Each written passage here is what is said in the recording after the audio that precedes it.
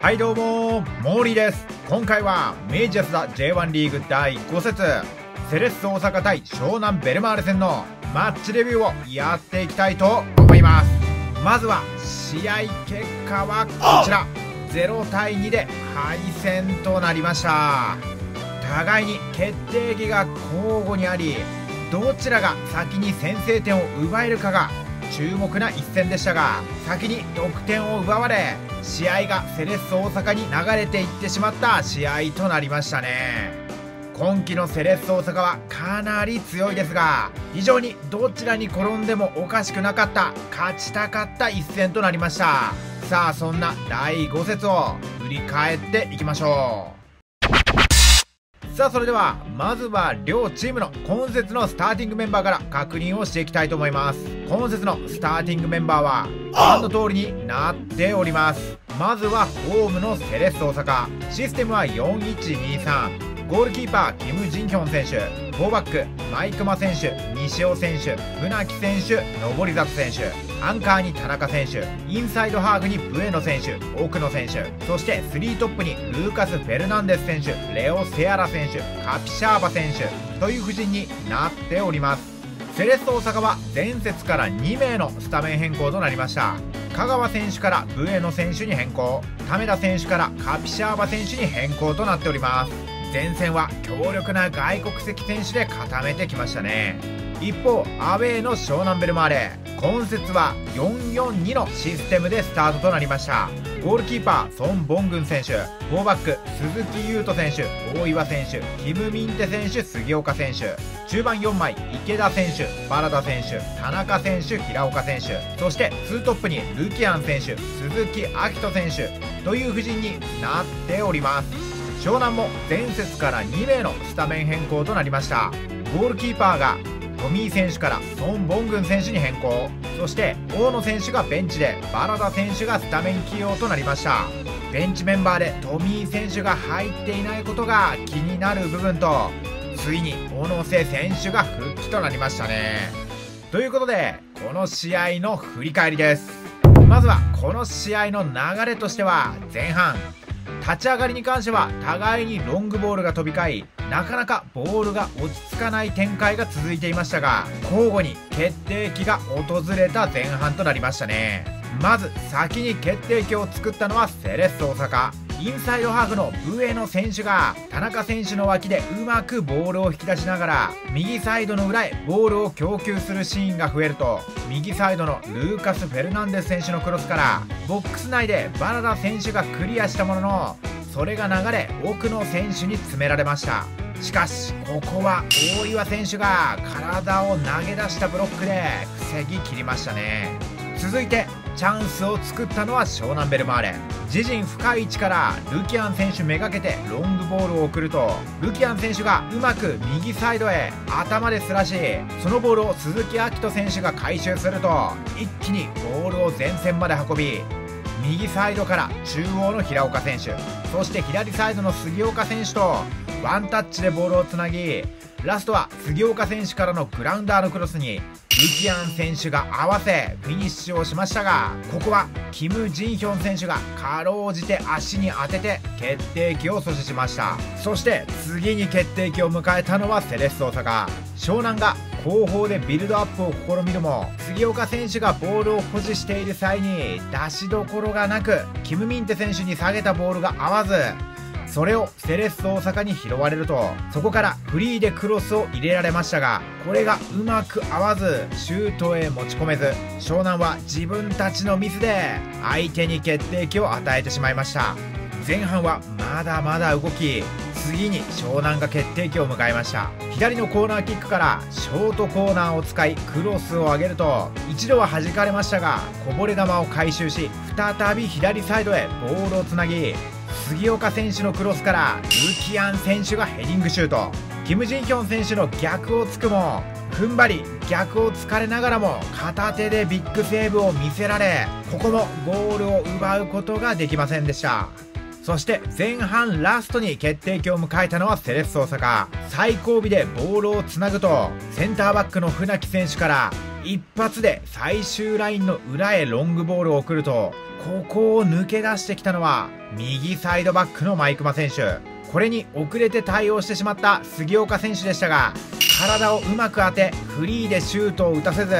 これをソン・ボングン選手がうまくセーブをして決定機をしのぎました。互いに多くの決定機を作るも決めきることができず0対0で後半へ折り返し。後半に入ると先に決定機を作ったのは湘南ベルマーレ。左サイドからルキアン選手が最終ラインの裏を取るとサイドの杉岡選手へパスを送りそこから一番大外の鈴木優斗選手へ絶妙なクロスを送るとこれをうまくトラップしゴールキーパーと1対1の場面となりましたが距離もかなり縮まっておりシュートを放ちましたがキム・ジンヒョン選手が体に当てこの決定機を阻止しました。後半立ち上がりに関しては湘南が試合展開を握っていましたがセレッソ大阪が徐々にフィニッシュまで持っていくシーンが出てくると60分に失点。セレッソ大阪の左のコーナーキックから湘南はゾーンで守りを固めるものの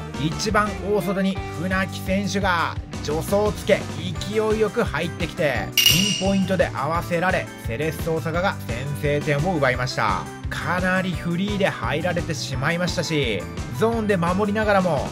このボールに競ることすらできていない失点となってしまいました。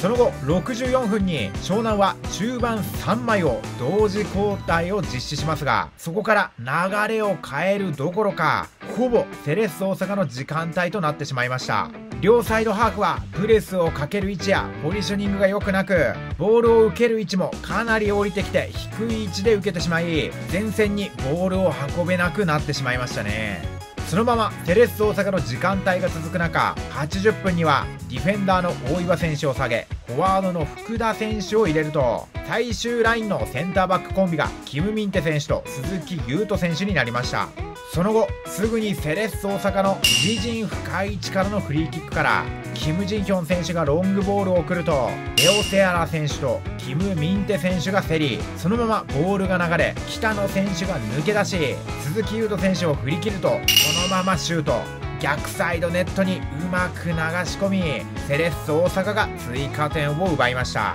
湘南としてはポジションを入れ替えた途端にうまく対応できずにやられてしまった失点となりましたね。その後も湘南としては全く相手のゴール前に迫ることができずに試合終了。0対2で今季初の無得点での敗戦となってしまいました。この試合90分通して振り返っていくと決定機を先に奪えるかが重要な一戦となりましたね。そしてこの試合今季初の無得点でしたが前半と後半の立ち上がりまではかなり決定機を作ることができていたかと思います。後方からのロングボールにルキアン選手が降りてきながらボールを受けダイレクトでボールをつなぐシーンがよくできていたかと思います。またルキアン選手に2回の決定機そして鈴木優斗選手の決定機がどれか1つでも奪って先に先制点を挙げていたら試合展開は大きく異なっていたかもしれませんね。また今節も多く仕込んできたセットプレー。本当に毎試合どんだけ仕込んでいるんだと思うほど様々なセットプレーを見せ今節はコーナーキックだけでも11本。これだけ多くのセットプレーを作ることができたものの一つも決めきることができなかったのは悔しかったですね。非常に可能性を感じるものが多かっただけに次節はセットプレーから得点を奪ってほしいところです。そんな中今節も気になった課題としては交代選手。試合に入れていない部分が目立ち流れを変えたいイメージがつかない結果が多いですね。毎節交代選手が入ってから攻撃チャンスが作れず防戦一方の試合となる展開が増えています。ここはスタメン組と大きな差が現状あるのかなと感じてしまいました。この差をうまく縮めていかなくては90分通して自分たちのサッカーをやっていくのは難しいと思います。個人的にはもっと若手の選手を入れたりして育成していく部分トライさせることも試していかなくてはいけないのかなと感じております。高橋選手だったり石井選手っていうのがメンバー入りしてきてほしいところですね。ということでこの試合では互いにあった決定機を先に奪えた方が試合をうまく進めることができた一戦だと感じました。今季調子の良いセレッソ相手に質では押されながらも良い試合ができていたのではないでしょうか。ただ結果としては敗戦ですし次節は得点を奪い勝利することに期待をしています。さあそして最後に今節を終えての順位表と次節の対戦カードを確認していきましょう。今節を終えての順位表はこの通りになっております。敗戦してしまい勝ち点を積み上げることができず順位は14位となりました。降格圏とは勝ち点差2ポイントとなっていますし大事なことは連敗をしないこと。内容は悪くなかったとは思いますし事実は結果を残したいですね。そして次節は4月3日水曜日ホームで東京ベルディ戦となります。中3日でのゲームとなりますね。東京ベルディはここまで5試合勝ちなしと苦しい状況ですが決して内容が悪い出来ではないので油断ができない相手となります。湘南としてはここで勝利することができればまだまだ注意1桁順位は見えてくると思いますがここで敗戦するようなことがあれば今年も厳しい残留争いになっていくかと思います。次節の東京ベルディ戦必ず勝ちましょう。ということで今回は明治安田 J1 リーグ第5節セレッソ大阪対湘南ベルマーレ戦のマッチレビューをやってきました。それではご視聴ありがとうございました。この動画が良かったなと思ったらチャンネル登録高評価コメントしてくれると嬉しいです。また次回の動画もお楽しみに。バイバーイ。